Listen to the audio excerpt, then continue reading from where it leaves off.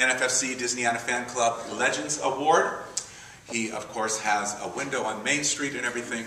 Now retired, but uh, thanks to uh, uh, working with Dennis Tenate and everything, Tony has come today to share some things with us about his amazing career that started when he was very, very young. Uh, and uh, started going to, to theme parks uh, around the area and things. So with that, I'm going to turn it over to Dennis Teneda and Tony Baxter.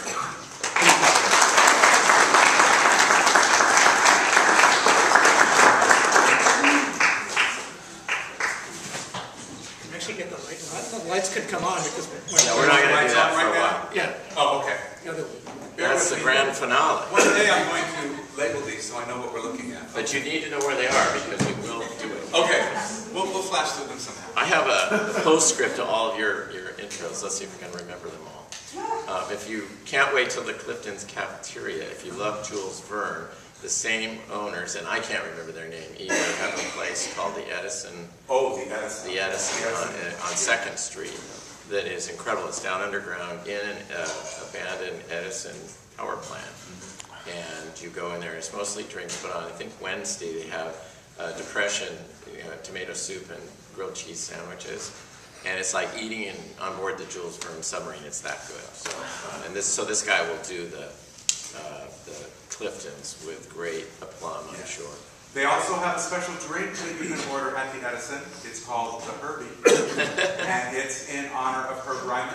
I don't know what it is, but, but because the Edison is a, a, uh, a great sponsor and uh, uh, contributor to Ryman Yeah. Arts. And they're also working with us on Pleasure Island on the reconfiguration of that, so that will be a boom. The Edison is a beautiful place. It's gorgeous. There's lots of great places. Downtown is coming alive again. Yes. is And Right. when you take his tour of the Union Station, of course, Pearl Harbor was filmed in there, so that's another Yes, Disney. yeah, a lot of And then finally, Hunchback, I was fortunate enough to get to see that in Berlin, and I'm going again because it was absolutely the best Disney theatrical thing I've ever seen, so I hope, they were worried that it was a little too dark, that version, so they said we have to lighten it up for America, so we'll see what, you know, the Germans. Like, you know, so they, they followed Victor Hugo more to the letter of the law, I think, on that version, but the music is stunning, so, all right. Now I'm up to date, but I'm sitting there going, I have something I can say about that, I have something to say. All right. okay. Well, when Dennis asked uh, Tony to come speak today, uh, we were strategizing what to do. And uh, if we had had Tony speak on one subject, it might disappoint the others who didn't, may not want to hear about a s- specific subject. So we decided we'd do a conversation, and actually we did this for the NFFC Legends Award.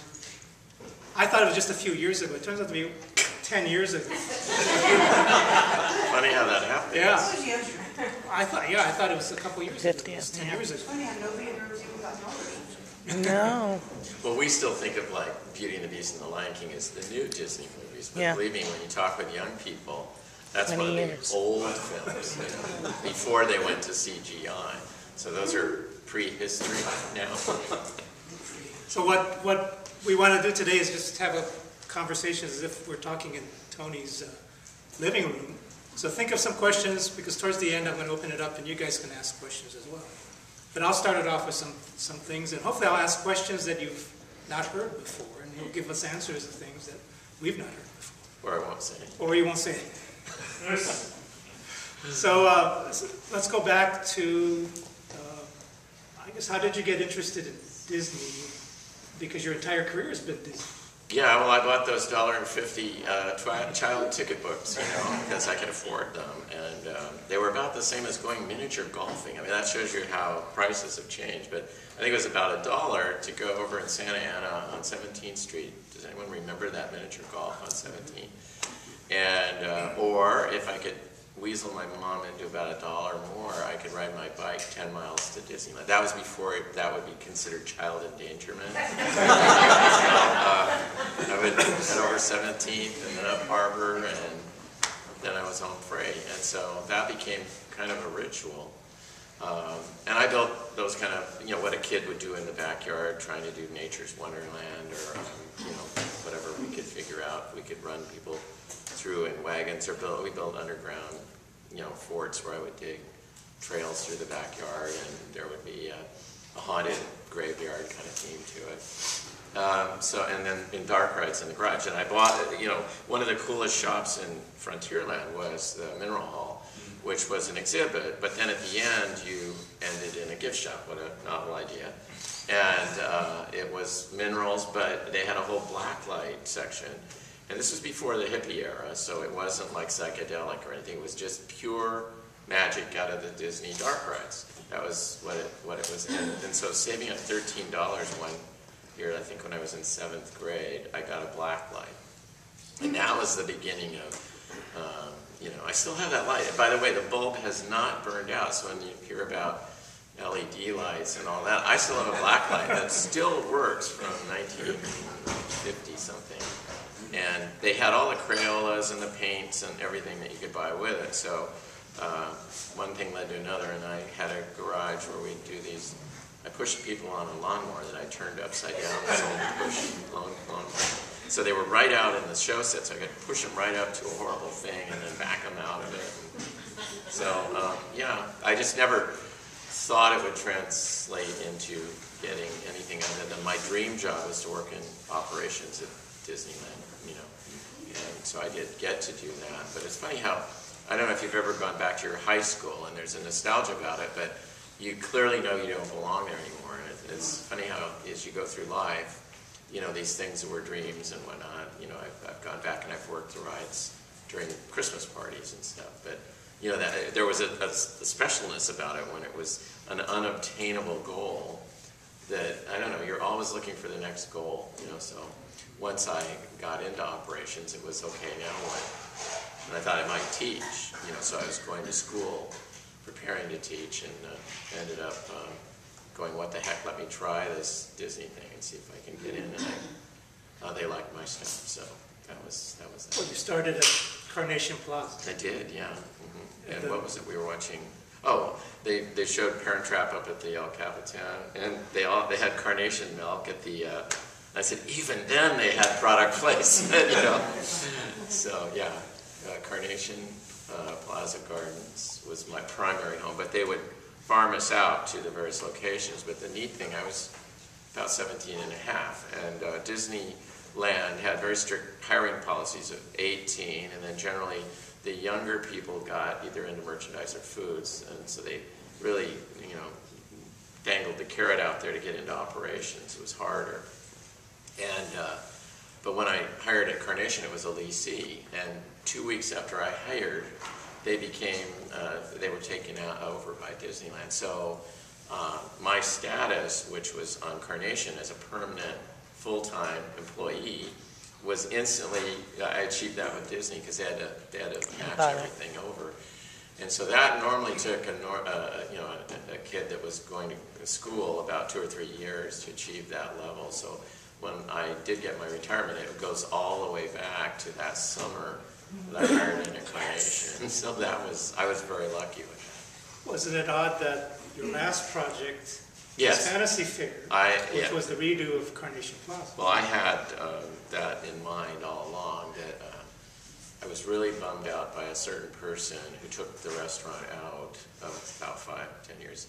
The initials of PP, uh, and that's what he was. Yeah, anyway, so I, you know, that area had died. I mean, it was once active, and yeah, occasionally at night they'd have a dance, and then there'd be a pathetic thing in the afternoon where a school would have their choir there, and the three parents that came as chaperones would be sitting out in front in four chairs. You know, but it, it, the dynamics of it was gone, and I said it's next to the most famous piece of architecture probably in the United States, you know, and there's no one here. It's become a dead zone, and so we concocted the idea of bringing the princesses from a meadow out in the back, which didn't, for me, make any sense at all, to up by the castle where they would, that's where they would live, you know. So that's that's what we did, and um, I'm pleased to say it's busy there all day now. it's a, kind of a happy area again instead of dead.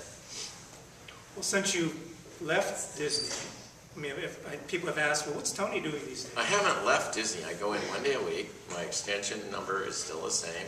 My email is still the same. I go in and I get a pile of memos that have accumulated in the four days I haven't been there. So all that means is instead of sitting in that room doing it all, I do it at home. So the house is now piling up with rooms So these are things I have yet to answer, and these are things I'll never answer, but I've got to keep. And uh, I do. Uh, that's kind of the fun part. Um, I, I've kind of figured this out um, that when I hired in, there was a huge age gap between me and the people like Marc Davis and Claude Coats and John Hench. So they were in their 60s, maybe even 70s, like John was probably 70. And, um, and I was in my early 20s, you know, so there was this massive gap. And the only person that fell in the middle of this was Rolly Crump. And Rolly Crump always had a problem, you know, fitting in. And the, I would later find that out as I moved into later age categories that when you have people in their 30s, 40s, 50s, and 60s, they're all vying for the same you know, spotlight, I think it is. And uh, whereas when you're in your 20s and you're working with people in their 60s, they really want to encourage you know, young people and help them along. And young people in their 20s are so nervous about succeeding and learning it all that they're very eager to have that relationship. So I think that there's a fallacy that you've got to keep filling slots because all you do is have people that are jealous of the other people and trying to take over and, and all of this. Whereas when you have that gap that was by accident. These guys just got up to that age and they went, you know, we're not going to be here forever. We better start hiring in. And I was very lucky to get hired in.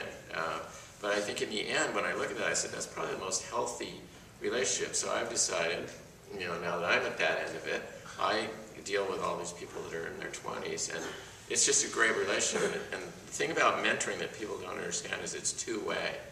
So if I teach them anything, the most other important part of it is that I get something out of them. And so I try to go to all the things that their age group goes to. So if you haven't been to Comic Con, you should hmm. definitely do it. It's almost impossible to get in. Uh, the tickets go on sale, and Mark can attest if you don't. There was a great last year was at Big Bang Theory where they're going refresh, refresh, refresh, refresh. Goes Thursday's gone, no, Friday's gone, and honest to God, it's like that. But it is crazy, it is goofy, but you really get, you know, where they're all going to and what are they excited about. And I think it's important that you have to embrace that because when we were that age, that's what Disneyland meant to us. And so the, the constant dilemma is for Disneyland to mean something to our generation as well as uh, be exciting to them. Well, speaking of mentors, Claude was a mentor. Yes, Claude Coats was a mentor to you. Yes. Talk a little, I mean, you don't hear much about Claude. No, because he was quiet. And Marc was, of course, um, very successful before Imagineering in animation, and uh, the characters that he did are legendary. You know, from Alice and Cinderella, and uh, the evil villains of Maleficent, and Stepmother, um, so forth. Uh, so you know, it was he, he got the spotlight and still does. I mean, the the newest uh, copy of Sleeping Beauty has a wonderful 12 minute thing on um, the villains, and uh, they speak reverentially about Marc Davis. But from, for someone who worked in the parks, I always thought the rides were more about going into the places that we loved in these films, whether it was Nature's Wonderland, where we saw the living desert and all the places that came to life out of the nature films, or the same thing was true of the jungle. Um, or it was the dark rides, which took us into the cartoons, and you you weren't playing the role of Snow White so much, but you were getting to do the things she got to do, and, and these things were happening to you. Um, so I was, I think, always more predisposed to the worlds in the Disney movies, and that's why I think Sleeping Beauty has always been my favorite because Eyvind Earle really took over that film.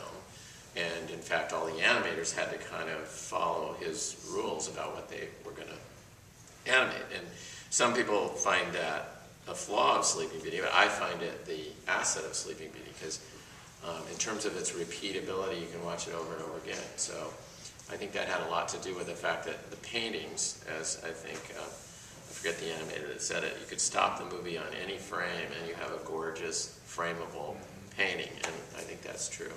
But uh, not getting to work with Eyvind Earle, probably the next most featured background and color styling person was Claude Coats. And uh, when I got there, he and Marc were partners on shows like Pirates of the Caribbean. And uh, when Walt passed away, they were very different individuals. Uh, Claude was very uh, welcoming of uh, input and everything, and, and Mark was, uh, I won't say set in his ways, but he was so capable of doing it. It was, you know, it was hard for him to open up and, and include other people in. Well, why don't you design this uh, secondary character? That wouldn't happen.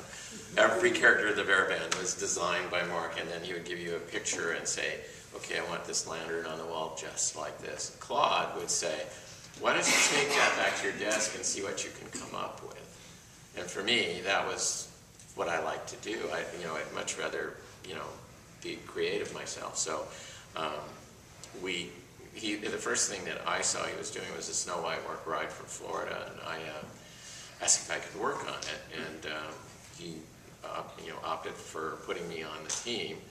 And then, like I said, I would go back to my area and I'd come back and goes, that's a great idea. I think we'll show that to Card Walker, who was head of the company at the time.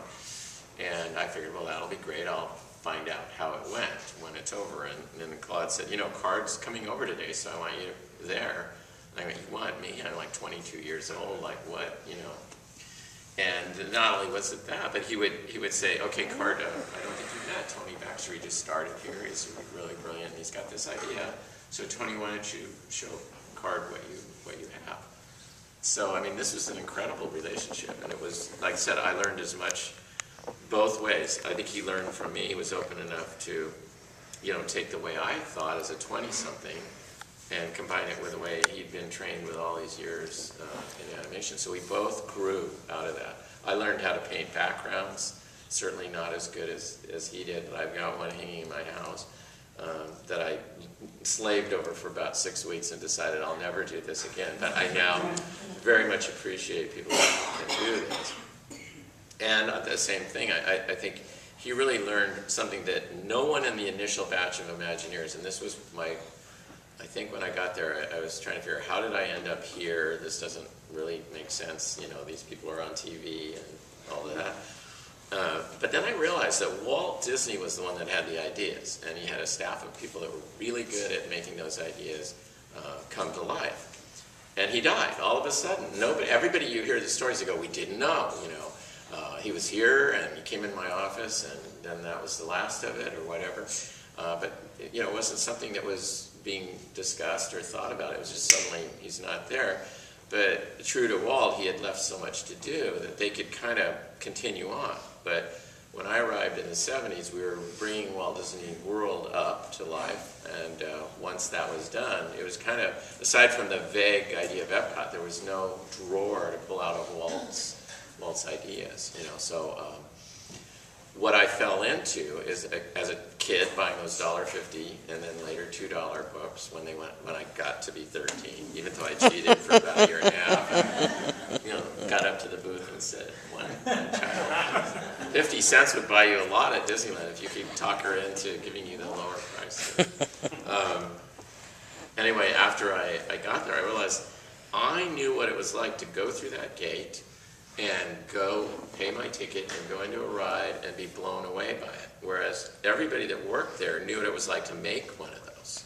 They knew what it was like to paint the background, to stage it, but they didn't know what it felt like emotionally to go through it and, and how it affected you and all of that. So that, you know, while my talent was nowhere near what theirs was and the years and years of, of honing their skills, I knew how to make things that were fun you know, and I had that burning idea of like, these are things that would be really fun to do. So, uh, as they were, as these, you know, bins were more and more empty of Walt ideas, um, they'd start saying, well, maybe Tony should think about whether he's got an idea for that. And so that was sort of the start of Big Thunder. You know, they didn't know what to do. And they weren't, at this point, they had turned around the idea of doing Western River Ride because uh, the big complaint in Florida was no Pirates of the Caribbean. And Western River was going to be a East Coast version of Pirates of the Caribbean. So it was all about cowboys and Indians doing the thing that pirates and townsfolk would have done in the Caribbean ride. And they thought since they're way far away from the West, it'll be very appealing. But then the number one complaint was, why would you go to Walt Disney World if they don't have the pirate ride? Was this the best ride at Disneyland? So they scrambled and did what I feel is an inferior, way inferior pirate ride but it pretty well put the nails in the coffin for ever doing Western River because it was essentially the same formula going into a town that was all besieged by bandits and hoodlums that were, you know, revving up the town and the, and the gals were out there dancing and all that stuff. It also had a few politically, you know, things that were starting to become sensitive. Um, so, you know, they said, well, what are we going to do? You know, because it was an, an original wall kind of thing. And um, so I said, well, what if we broke it in, in two? We could build the, the, you know, the Big Thunder Mountain out in front out on the piece of land, and then we'll put the show building in the back for Western River Ride. So that was how that began. And uh, it, it was just over time I started to say, well, see that this little kid view of like, wow, I, I know it would be fun, you know, was like a, a huge thing that people that do it for a living, they've always waited to get a task. Okay, Claude, we want you to do the sets for the Haunted Mansion. No one could do it better. Marc, we want you to design this, the Daraband or whatever pirate characters. No one could do it better. But uh, sitting down and saying, well, what should we do? That was sort of a, an empty gap hole that um, I started to get the opportunities to do. So, and Claude was uh, so congenial in in uh, uh, giving me those initial chances to do that. That um, you know that was you know just something that I treasured, and we became very good friends. I remember he came to my house, and I stayed living with my parents till like 26, and so here was this guy that was older older than my parents coming over to my house in Tustin, and we had to go up the stairway to my bonus room on the second floor, you know, through, and my parents were all downstairs. I said, this is weird. You know. But he, he never, you know, it never phased him. They were just decent, really nice, nice people. And so when, you know, the last time I talked to Claude, I was in Paris, and I just got the inkling to make this phone call because the park looked so good. And it was really because of him. You know, I, I'd learned so much from him. And I remember I called at the hospital because he was in really bad condition at that point, and they had just taken a breathing tube out. So he was within like a five minute period where he could talk.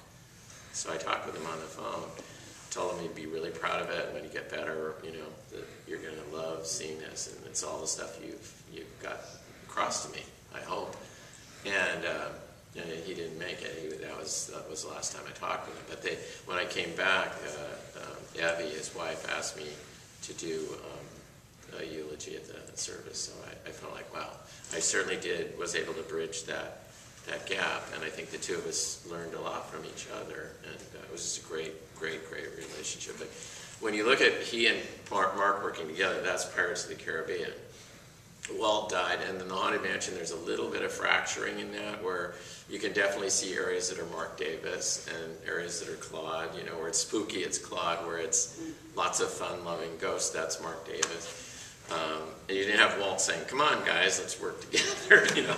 And then uh, once that was completed, because that was started under Walt, um, you get to things like America Sings and Country Bear Jamboree, which were 100% Mark no environment, but fabulous, fun-loving characters. And then you go to Claude, Adventure Through Inner Space, and if you add wings, no characters, but amazing environmental things. So it, it, it's again, it's a tribute to what Walt did in that I think he was the greatest orchestra leader, bringing those people together and getting great environments and great characters all in the same grade. this is going till five o'clock. Okay.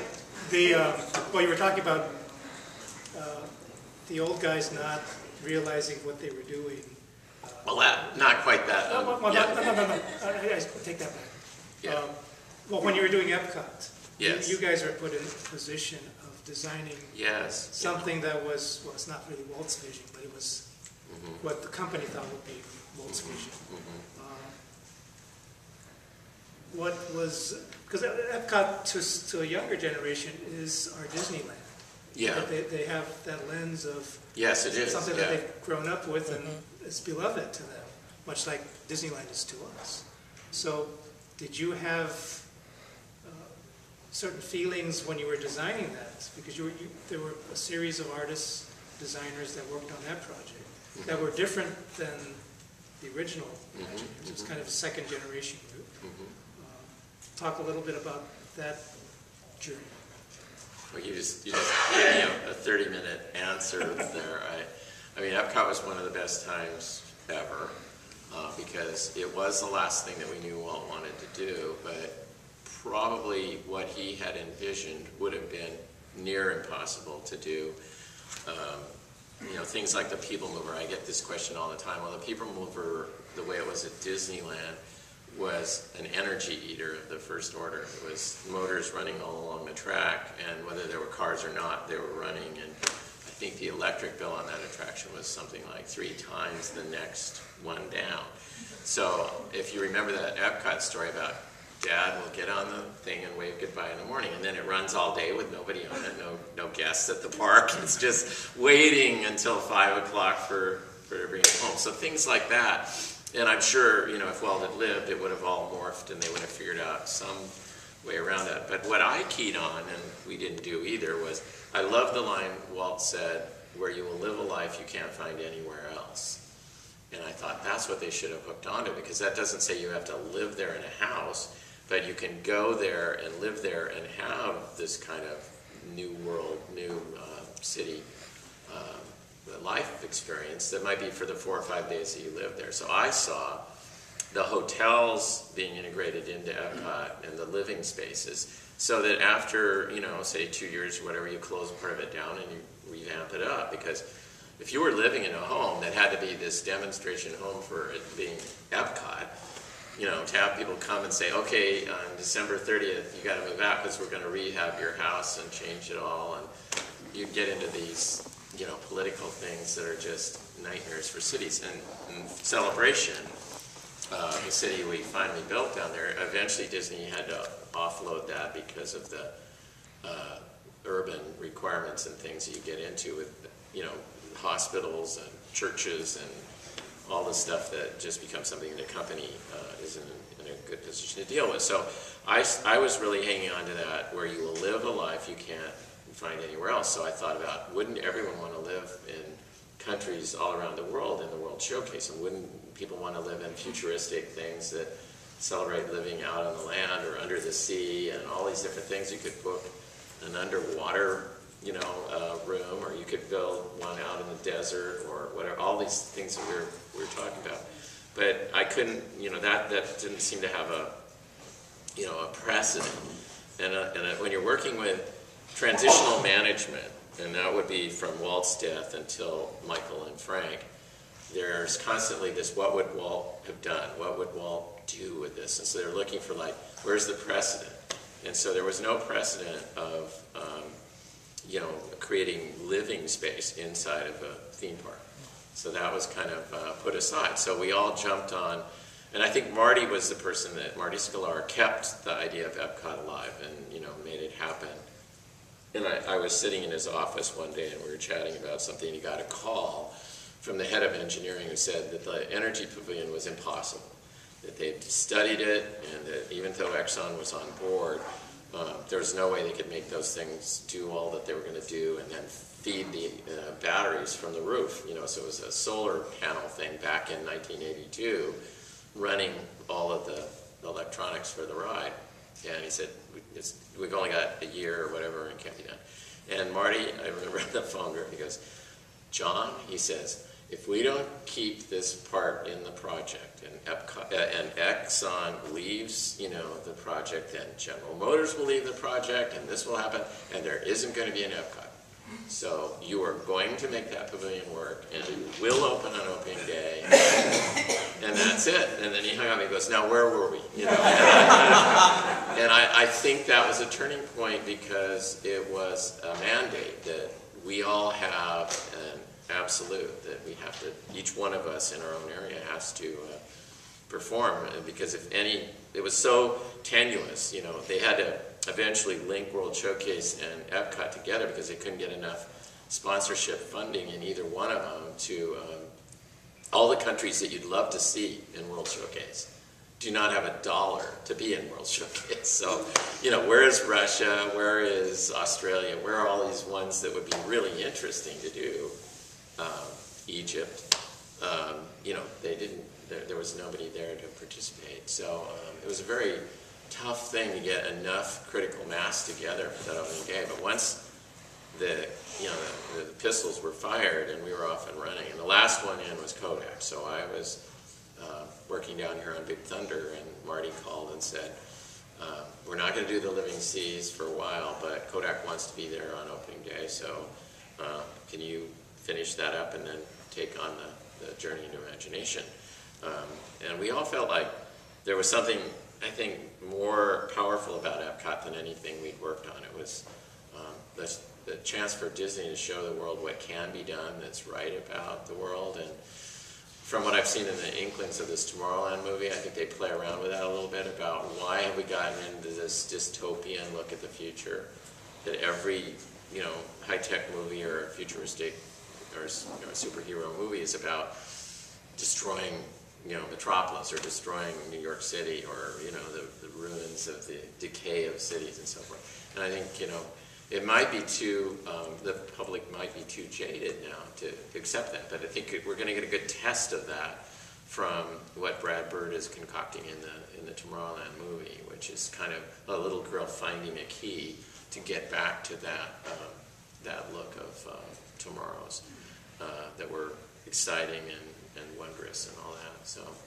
um, I don't quite like where Epcot has gone in the last few years, where you know the Living Seas was. Uh, one of the great bodies of water that was, you know, a saline environment on land.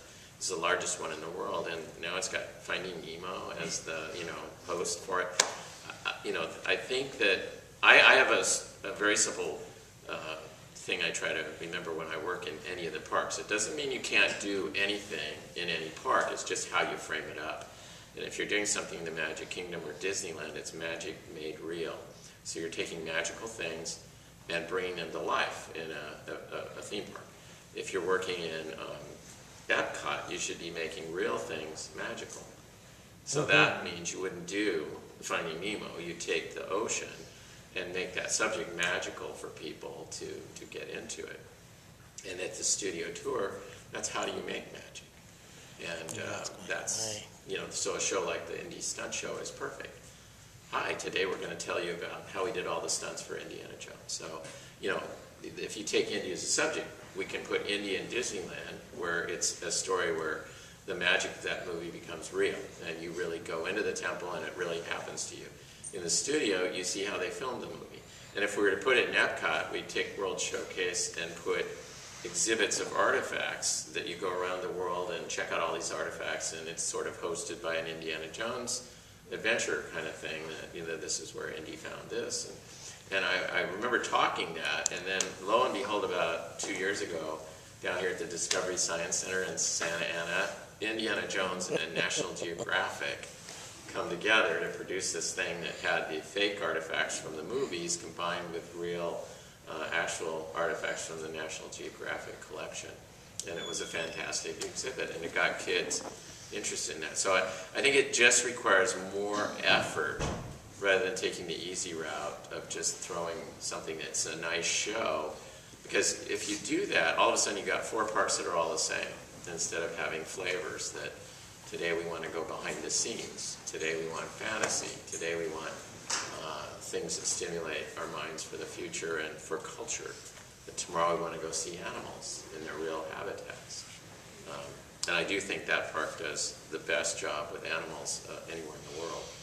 I'm always amazed when I go in there and take that gorilla walk. I don't know if you've done that, or, or go on the tiger walk. Uh, those are just so stunningly great, you know. Um, so I, I, I handed to Joe to making it a fourth model for that that little statement I have. It Well, I was, was- I was talking about Epcot and. and- oh yeah, Because you were, Mhm. you were the, the guys creating it. Yeah, and it was, it was a little bit of that story that I told you that um, by the very nature of, we grew up, you know, and Mark and, Mark and I worked at Disneyland at the same time, and when they opened the second floor of Carousel of Progress and showed Progress City, which had been renamed Progress City, it was gonna be Epcot, and then Walt died, and they went, ooh, what if we never build it, we better just call it Progress City. But it was clearly the model was exactly that rendering that we all saw. So, you know, it was thinly veiled, and we all went, remember, we all said, we're going to move there. We didn't know about the humidity in Florida at that time. so we all said, oh, you know, as soon as this gets done, we're moving there, you know. So uh, I think the fact that we had that DNA in us about how exciting this idea of fixing all the ills of cities and whatnot would, would be, that uh, we were ripe to take lead roles in, in Epcot because that was something that really inspired us as when we were in those impressionable years, you know. Of, of, and if you haven't seen the movie Big, it's a, a perfect essay about someone, like I'm describing, landing in a toy factory, and essentially that's what we are as a giant toy factory. And the management doesn't know, some of the management doesn't know what to do with him because that innocent kind of spark that children have about what's fun and, and all of that is still alive. It hasn't been beaten down by the facts and figures of politics and, and running a company and all that. And the, the classic scene for me is always that part where uh, he's playing with a toy and realizes it's a boring toy. And the guy's up there are saying, now if you look at our graph, if we're able to extend into the 12 to 14 age bracket with this toy, that'll produce revenues that'll generate, you know, 20% more and blah, blah, blah. And then Tom Hanks raises his hand and goes, I don't get it. There isn't anything fun about a building that turns into a robot, you know, like, and, and I, I, thought, like, if you said that, you'd be crucified in a meeting, you know, so uh, it's a very interesting essay because some companies like Pixar, I think, and Marvel embrace those kind of people. And I think Walt did too because I, I saw a lot of these strange, you know, people they would not hire because they're, they, they fill out kind of a, a palette of diversity that made Disney able to do incredibly strong villains like Maleficent and um, Chernabog and Stromboli, and then at the other side, people that could create the most loving and kind and all of that. And if you just, you know, brought, you know, suited executives into the company, you'd have one flavor and one flavor only. So I think that was uh, the brilliance, uh, and that's what I look for. I don't look for people that fit the mold, but, you know, bring some, you know, one of my, my favorite coworkers was John Stone, who didn't meet any standards, and yet the guy could do paintings, he could do models, he could do, uh, he could build stuff in the field, and he could do it faster than anyone I've ever worked for, you know, and, and yet he wouldn't meet anybody's requirements as an executive or a, you know, by the longest march. and, and meticulous. And then she'd put a dainty little like Mary Poppins apron on, and then she would do get her hands in resin or whatever it needed to be to do it. But she was also like the before internet and everything, you went to Harriet, you know.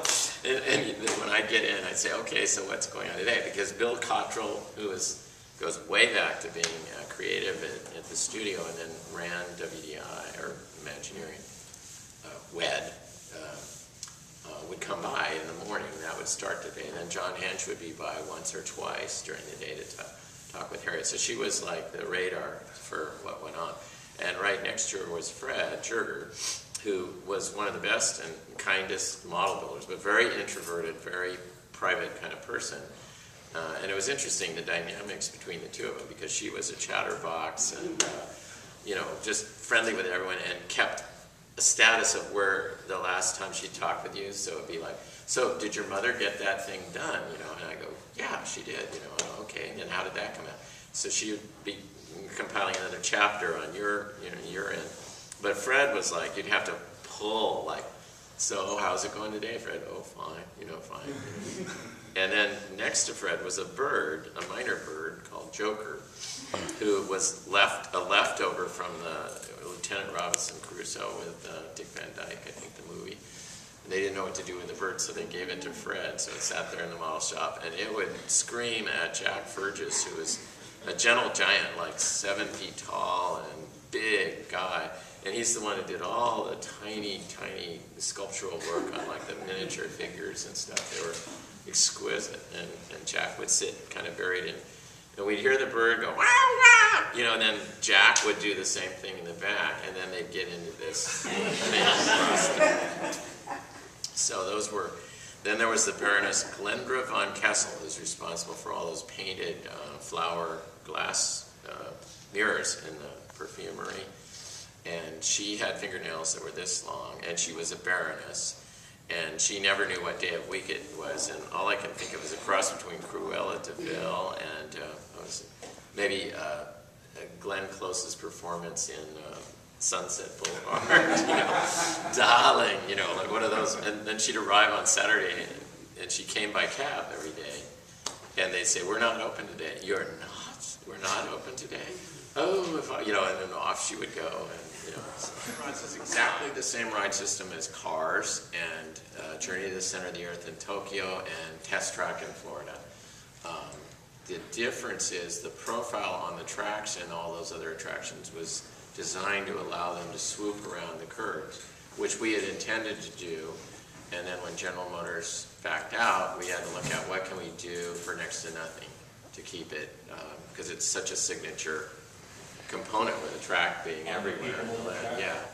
And so uh, we, we talked to the engineers and they said, well, I think we can moderate the speed enough to slow down around those curves. Well, it really compromised what you experienced as a ride, you know, to have to slow down and then accelerate and slow down. I used to say it was like how my dad drove the car. For the cruise, we had like six or seven little clips that we put together um, for the, the cruise people that each of the people on the panel had selected as one of their fun things. So I'm going to run the first part of it, and then we'll get into kind of what I call a dog's breakfast of stuff. Why is that? said? Oh, I don't want to join in now. Cancel. Okay, so uh, let me pull this guy up. If you don't allow me to shift it, so I can get the screen enlarger. Okay, so this is, we're gonna run about fifteen minutes, and it's, imagine it's Friday night, and you come to my place, and we're going to um, give you a little tour of the house before watching uh, some behind the scenes on building Disney.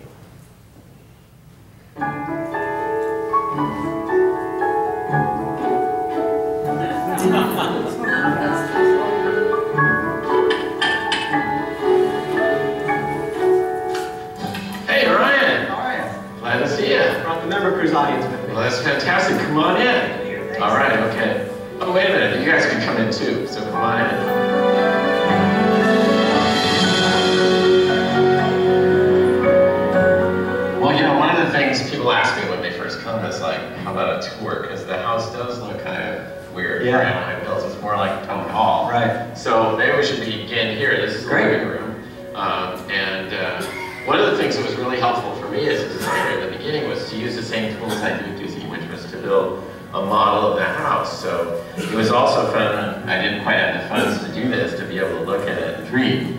And so for three years I would dream looking at this model. And I, I could actually pull the roof off and develop the rooms, and it was really cheap to deal with this foam Right. core and move it around rather than having to tear down uh, walls. And later, I found that when you're dealing with contractors, like a roofing contractor, it really helped to have something they can look at that was practical. It's probably something they don't have often. No, uh, it's something, of course, we don't do anything at Disney without a model, so it was, uh, it was kind of exciting. Was this around the time that you were working on Disneyland Paris? that you were I started before, I did the model before, and then we got heavily into the building, uh, building of this right during the Paris project. And what was neat was there were great hardware stores over there, and I ended up buying like door hardware and outside chimney pots and stuff in Paris, you know, for this house. So it was an opportunity that probably was the best time of my life. So when I transitioned into my advisory role at Imagineering, they gave me this beautiful copy of the castle we built over in Paris, and it's just gorgeous, the detail and everything. I think they could definitely sell these if they made it as a product, but I think this is one of a kind. The other great thing was getting honored with a window on Main Street because uh, that's something that's very special to me because all the people that are at the Disneyland windows are people that I grew up with that um, as a child I dreamed of being with Claude Coats and Marc Davis and John Hench. And so that means something to me to be with, treated as a peer to these people that were really part of my, uh, with a whole inspiration. With all the honors, the Disney Legend Award, the awards, Yeah. this has to be. It is, it's very special, and what you're looking at here is a miniature, it's like half scale of the 5/8 scale window that's in Disneyland, but Um, you know, you don't want to find yourself walking down Main Street and looking at your window. So it's really nice that I can, in the secrecy of my own home, I can And for those who want to know where your window is, I think it's the coolest location ever above the magic shop. Yeah, I don't think they could have picked a better place. And I love the, the idea of what they came up with because it's got a little bit of a throwback to Journey into Imagination. We'll move on. Uh, I once had a dining room. You know, normal houses have dining rooms. Right. I kind of have a time machine room. Because where else would you keep your time? machine? Yeah, so this room is devoted to Jules Verne and H.G. Wells and uh, Edgar Rice Burroughs, and this is a time machine. I'm doing a little work on it right now, so there's a few things around the, the dish in the back that are in, in rehab, as we call it at Disneyland.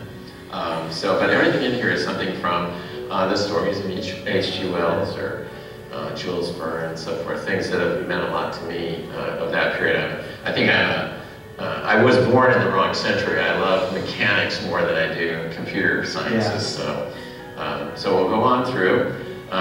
Just your normal kitchen with acorn lamps lighting it.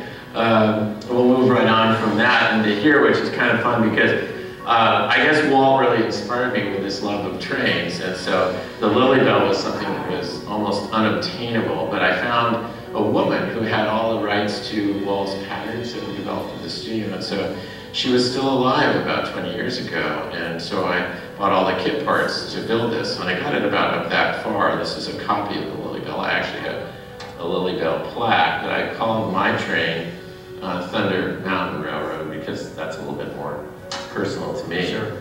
But um, anyway, I got up to about there. When we got to boilers, that's beyond me. I don't do boilers, so I had uh, a, machinist do the rest of it. But I built a lot of the models of the Disney trains. And then uh, there's Drew Struzan's poster for the Indiana Jones ride. When you spend like four years with a concept like Indy, you kind of fall in love with it. So I think I've got every Indy collectible that one can imagine. And they keep coming out with them even now, like 20 years later. We'll spend a lot of time here tonight in this room because this is our TV room. I wanted a space that looks really cool as kind of a family room during the day, but then I can quickly bring down a screen on the end wall there. So I thought you might love like to this see this. Yeah, Beautiful. this piece was done for the Disneyland Paris Castle, and uh, I loved it. And it was it was actually woven on the same in the same uh, studios that did tapestries four or five hundred years ago. And they'll only make like six of anything. And this one is number two, and the first one is in the castle, and the other four don't exist. So um, this is it. So you'd have to go to Paris to actually see this hanging up in, in our Belle Uh, so I put all my evil people since it's sort of the theme for the room. Um, I love Godzilla and some of the other studio props, but Maleficent's probably my favorite villain of all time. This is one of the few models remaining of the Dream Vehicle from Journey into Imagination at Epcot. And uh, it was given to Disneyland on their 30th anniversary. They gave me uh, this from Disneyland, so it actually came as a present from Disney. I love your Rocketeer helmet. Yeah, Rocketeer, the coolest Disney character. Yeah. I wish we'd do more of those. Why don't we do the series of three of those? Yeah. And his successor, Captain America. So um, I think probably go up in the yard gallery and Okay, great. stuff up there. I've got some really cool stuff upstairs because I love collecting Disney art. So we'll have to get up there to, to find it.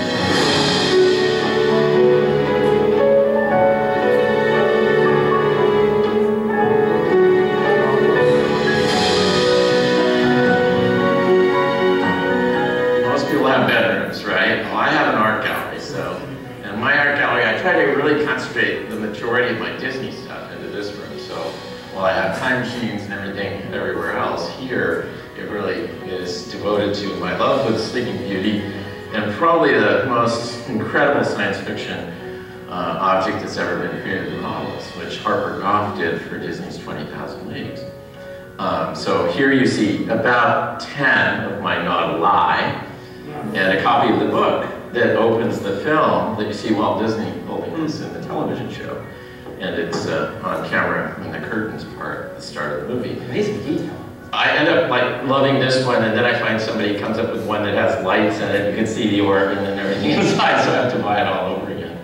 But the main, I think, collection in here is I have admired Disney backgrounds since I was a kid. I think it's wonderful. We often give so much credit to the animation, but uh, I think being a ride designer, it's a chance to let people go into the worlds that were created on film and the characters we love in the movies, but in the rides we get to go into these places. And I think for me, Sleeping Beauty uh, and Eyvind, Eyvind Earle's artwork was a high water mark for Disney, so I've spent a lot of time collecting his pieces. And some of the things on this wall were actually used in the film. Others are pre-production art. It was done in, uh, you know, establishing what it was going to look like. But this was actually a major scene in the film where Aurora was the edge of the forest. Um, one up here is interesting because it was shot twice. Uh, Philip writes to the uh, little cottage in one way, point, and then the three fairies come later in the film, so it was used a couple of times. In the center of all the Sleeping Beauty pieces is the, the Chateau de la Belle Bois Dormant, and I apologize for my really bad French. This was created for Disneyland Paris. It's the poster you'd see in the park. And for me, it represents kind of one of the best things I ever got to do in my career at Disney, which was uh, lead the effort creatively in Paris. But I think Tom Morris and uh, Tracy Trinast, who uh, designed this, came up with a perfect blend between something that's French, it has that historic look of uh, the, the, early turn of the century uh, artwork, but it also looks like Disney. And I think that combination uh, is what we were looking for, and it, it, just nailed it. And so I put it there as, as a centerpiece of my collection. It's kind of crowning uh, element. You know, your bedroom is a place you spend a lot more time than anywhere else. So I always had this thing I had to be looking at really cool stuff. So that started when we were building the house. I actually self-contracted and when we got to really intriguing things like this fireplace, I actually did some of the handwork myself because when we built Big Thunder and we did Splash Mountain, I kind of learned how to do the carving of cement and turning it into looking like stone. So uh, the one thing I didn't do was that head. I locked that in and kind of blended all the cement around it. And on Monday when all the, the construction workers came back, they said, you carved that? And I go, yeah, I'm really good, aren't I? so, also down below are the uh, maquettes that were used in the movie uh, Beauty and the Beast, um, which kind of goes with all this too. I have a lot of Indiana Jones stuff, but I think probably one of my favorite things is this rough sketch is one of Drew Struzan, who's the other great poster artist. There's Bob Peak and Drew. Drew did all the Indy posters and Star Wars and Back to the Future and Harry Potter, but this is one of his um, early concepts for Indiana Jones. This is kind of fun because some friends of mine work at a studio that scans your head. Does he look familiar? Yeah, that looks like me. That actually made me look better than I look. So whatever the computer is that carves these things, um, I like that. Oh, my head fell. lost your head. Yeah, find out later. Uh, over on this wall, going back to the dawn of animation, uh, this is a, a, frame from the first recognized kind of animated film, which was Gertie the Dinosaur. Is that Winsor McCay? It's a Winsor McCay, and they didn't have cels, so they had to do the entire background and the character for each frame. So if you were shooting 16 or 24 frames, there are literally, you know, 24 drawings complete, completed to do that down to Disney's Hollywood Studios, the Gertie the Dinosaur's Ice Cream of Extinctions. Yes, yeah, it is. So, you know, I kind of look at it saying, if that film hadn't happened, where would we all be, you know? And down below, again, this probably should have gone downstairs with my bad guys, but Chernabog hasn't completely unfolded yet. But this was by the artist Kay Nielsen, who directed that whole sequence in the film and has always been if you look at it, the Art Deco styling of that is just really beautiful. And I wish it was unfolded a little more, but you can't, when you get a chance to find something like that, you have to sure. go with it. The oldest thing that I have in this room is, for me, is this castle model up here, which uh, I did when I was 15. And I think it still lights up. Let me see if I can get a few of the lights to, to turn on. But it was in my mom's garage. And when she passed away, I saw it there all covered with the dust, and I cleaned it up. And lo and behold, some of the lights came on when I turned the switch. So um, I did it. She was a school teacher, and I made it out of construction paper and uh, plaster of Paris and things that you'd find around the house, and little toothpicks for the finials and so forth. It looks okay from the front. If you saw the back of it, you'd really know that I didn't have any research. But who knew back then that someday you would create? No, my mom said it really, real, she thought it looked real, really nice, and she said, let's enter it in the Orange County Fair. And we did, and I got a blue ribbon, and in the paragraph about winners in the uh, hobby division, it was, you know, blue ribbons. And I got my name in the paper. That was very exciting.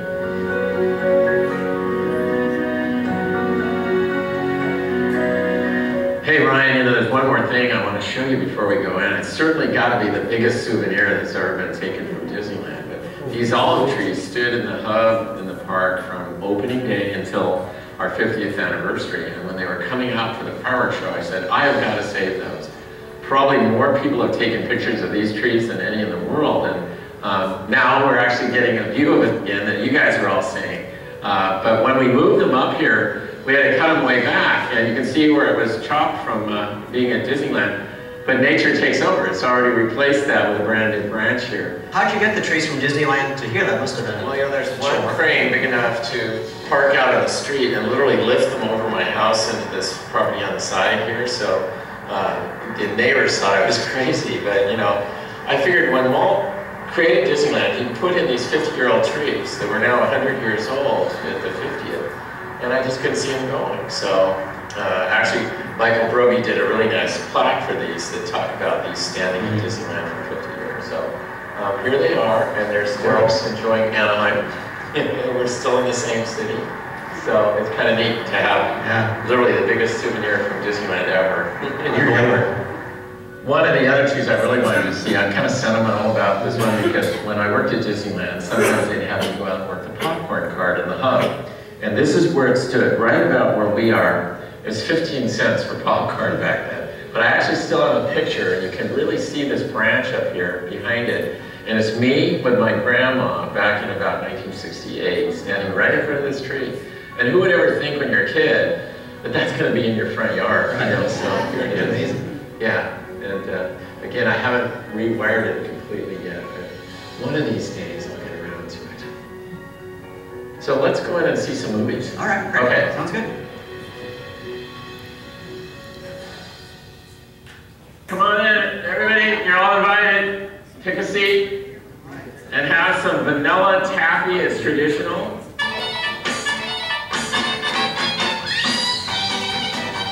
Somebody call it a number.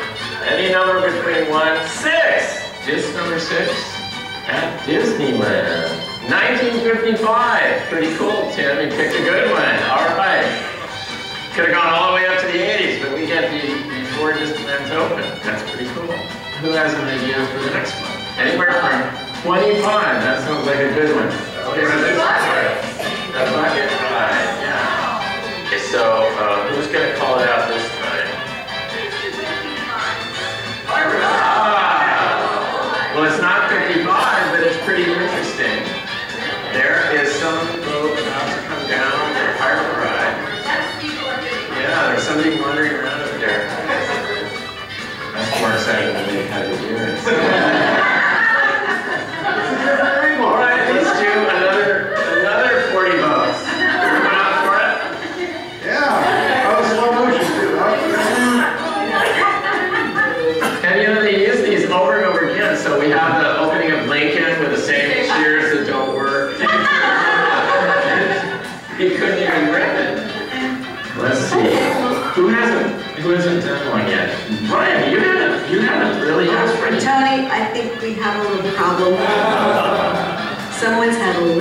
too much happiness today. Oh, oh no. Um, I guess everybody, this is good night. Good night. Wake up, Brian.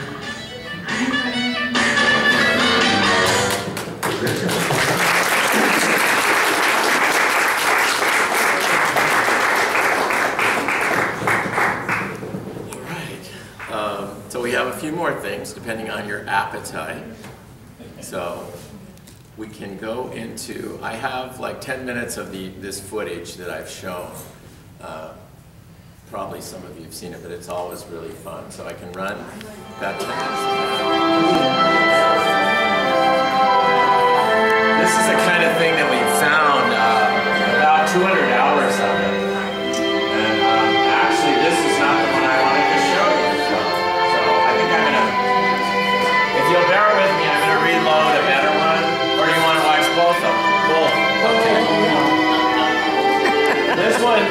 this footage was shot for a movie called 40 Pounds of Trouble. Oh. And it's in uh, widescreen, which they use as uh, B roll footage to uh, put in that film.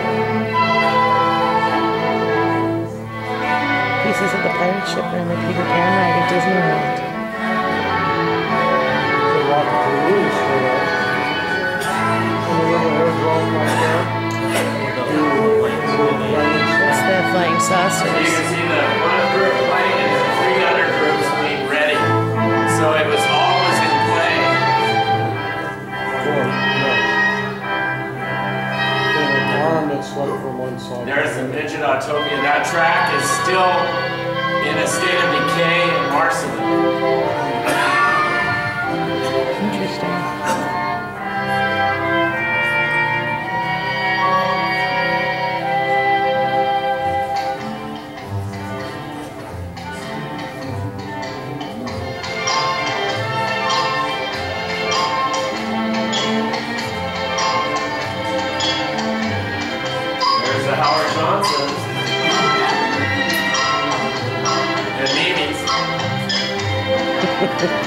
meanies.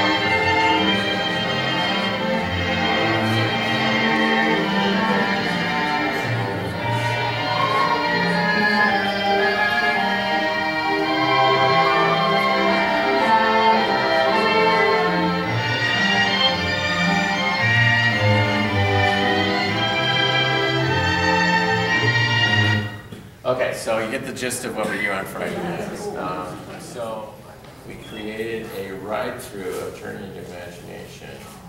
So for those of you who haven't ridden the original ride or missed the original ride, this is about as good as um, It's gonna get. can do. Yay. Unfortunately, the company never, um, never re- re- really did a uh, recording of this.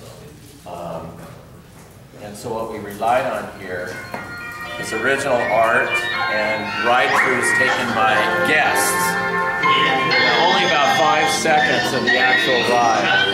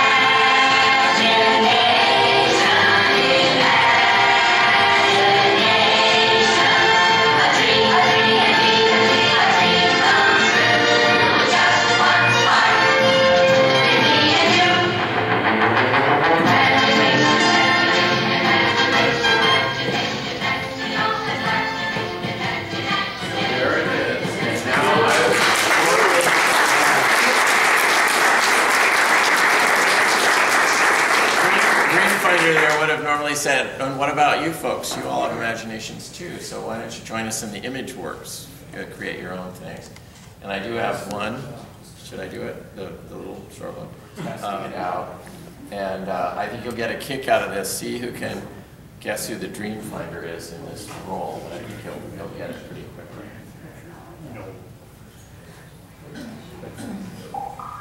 Oh! Hello there. Welcome to the Dreamfinder School of Drama. With the help of this magical blue stage and your imagination, we're going to travel back to the days of the old West.